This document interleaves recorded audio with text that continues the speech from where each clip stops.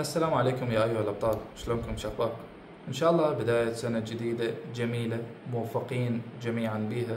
وأحب أقول لك شغلة. بهاي السنة لا تصير أنت كئيب وسلبي تجاه نفسك. لا تقلل من ثقتك بنفسك. شلون يعني؟ إنه من هسه تفكر بالامتحانات تفكر بالرسوب تقول كوزات وإلى آخره وما أدري شنو. أنت طبعا هيك أنت راح تضخمها على نفسك. وبهاي الحالة ما راح تتقدم خطوة إلى الأمام. لا بالعكس أنت راح تظل ترجع لأن راح عقلك خلص بعد أنت برمجته على هاي السلبية بدأ يخاف من أقل شيء. خلي أسولف لك إن شاء الله. أنت بهاي العلمية اللي جاي تاخذها أنت حتبني شخصيتك العلمية تمام؟ فشلون؟ خلي أسولف لك يا سنة دراسية ببساطة وشلون أنا كنت أتعامل وياها. أنت عندك نظري وعندك عملي. زين؟ إذا نجي خلي أسولف لك بالنسبة للنظري أهم شغلة لا تراكم المحاضرات وهي أعتقد سمعتها هواي أنت. وفعلا عن تجربة أنا أقول لك مرات صارت أنا عندي ظروف آه، في مادة معينة رغم المادة بسيطة بس لأن تراكمت علي حسيته كل صعبه بليلة الامتحان بحيث كانت كارثة ولا كأنه مادة بسيطة. فلذلك لا تراكم. زين حتقول الدكتور أنا يا دوب خصوصا جماعة الكلينيكال المرحلة الرابعة فما فوق محاضرات صح صعبة وطويلة بس إن شاء الله ما تصعب على البطل فيقول الدكتور أنا يا دوب أكمل محاضرة أو محاضرتين باليوم ومصدر ومطلوب مني مصدر ولازم أتوسع وتسجيل الدكتور زين يعني بهاي الحالة شلون؟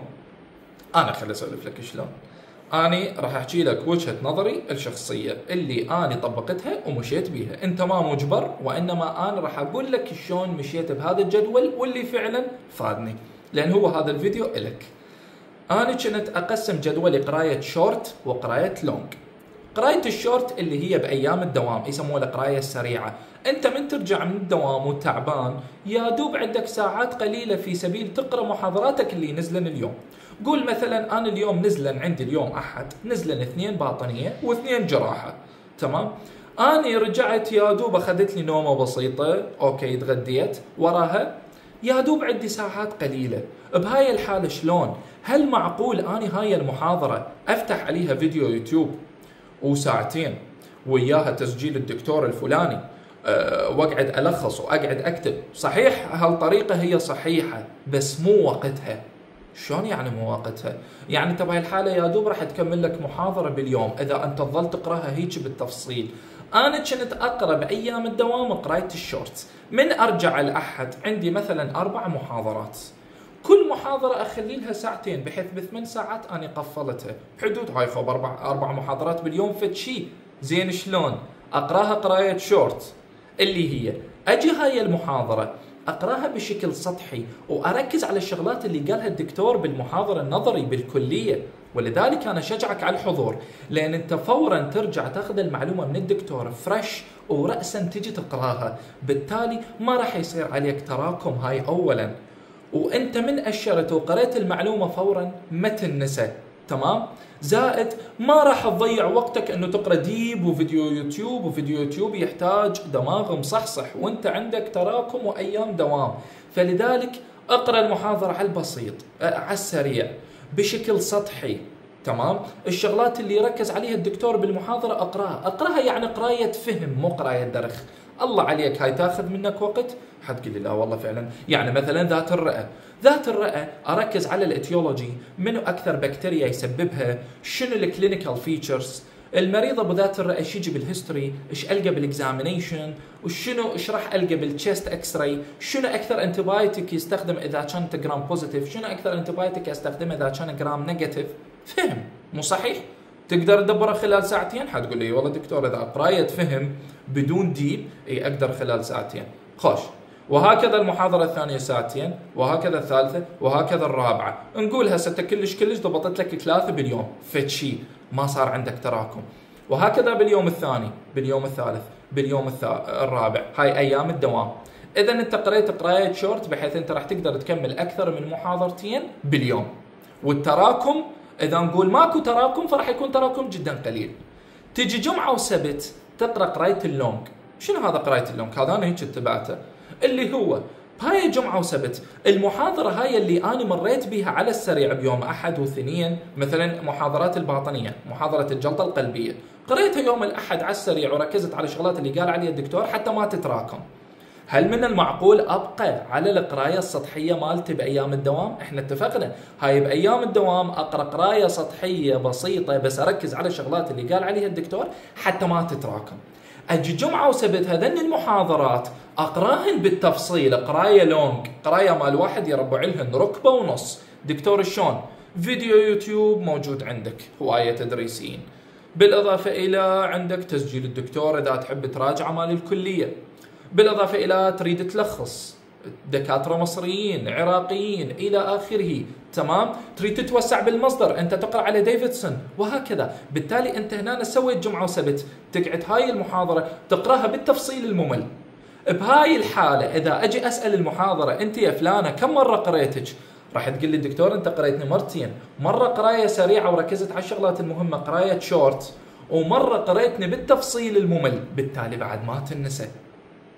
هذا بهاي الحالة أنت قريت قراية مركزة بالأسبوع الواحد قريت مجموعة من المحاضرات بشكل مركز وبنفس الوقت حتى تراكم يا يكون صفر ولو هي مو كلش بالطبية يا يكون تراكم جدا قليل.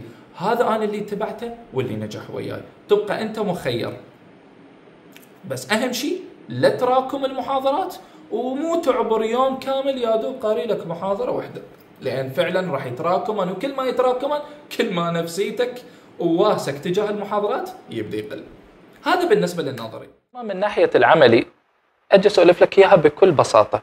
كل ما تحضر عملي وحتشوف كيسز كل ما حتستفاد 100% لأن هذا الكيس ممكن يجيك على شكل سؤال في امتحان عملي أو في امتحان نظري أو يجيك بالواقع يجيك بالواقع على شكل مريض تمام فلذلك الفرق بين اللي يحضر والما يحضر هذا اللي حضر من شاف case acute pancreatitis التهاب البنكرياس الحاد واتعامل بال history بشكل صحيح وعرف شلون يسأل المريض على ألم البطن وقال له الألم فوق الصره شاف العلامات مال ال acute pancreatitis هذا استفاد أكثر من اللي قاعد ببيته مليون مرة لأن هذا اللي قاعد ببيته وما حضر ال session حتى لو قرأ التهاب البنكرياس بالتفصيل الممل لكن ورا ثانية حينساها إذا تجيب له مريض ما راح يعرف يتعامل وياه ما راح يعرف إيش يسأل على ألم البطن. تمام؟ بالتالي لا تنسى أنت حتتخرج طبيب لأن أنت راح تتعامل ويا مريض وليس محاضرة فغيابك راح يضرك إلك بس. لا هذا اللي أنا أقدر أقوله إلك.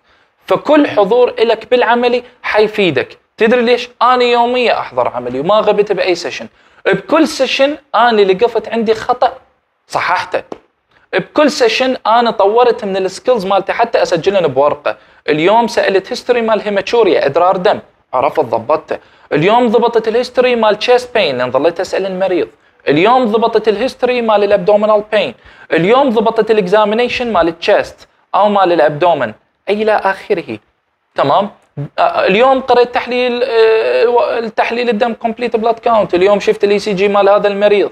تمام؟ لأن الطبيب إيش قد ما يشوف cases فهو يبقى في حالة تعلم وفي حالة استكشاف ويريد يدور على علم. فلا تصدق تدور على العلم وأنت مضيع العملي مالتك وقاعد بالبيت. ماكو أي فائدة. تمام؟